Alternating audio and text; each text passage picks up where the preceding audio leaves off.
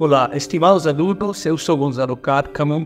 Gostaria de apresentar esta nova sequência de estudos com a intenção de descrever um pouco o objetivo de produzir cada um deles. Né?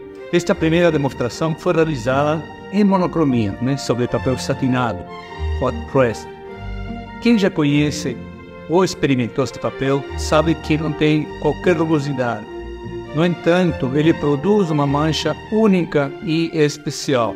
Né? Trabalhar em monocromia pode representar uma ótima opção para você começar a pintar.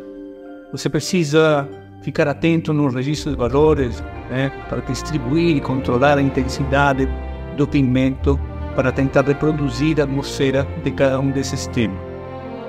A segunda demonstração foi realizada sobre papel granacina?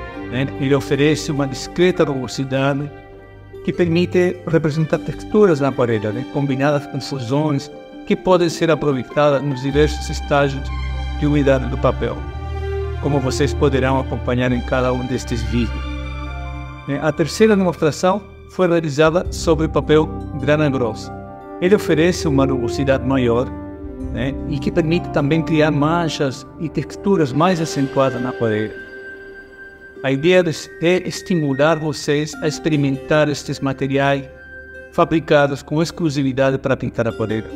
Claro que vocês poderão utilizá-los em outras técnicas à base de água também, mas eles em princípio foram inicialmente pensados né, para esta encantadora técnica da parede. A proposta desta sequência é afinar a sua percepção para a importância das variações de valor aplicação da intensidade e temperatura das cores, infiltração de luz, transparência da sombra e riqueza tonal de cada um destes temas. Aqui você já tem desafios suficientes para afinar a sua percepção e aprimorar as suas pinturas em aquarela.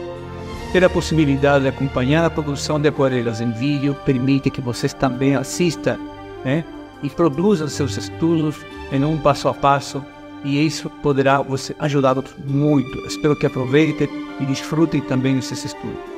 Um forte abraço a todos.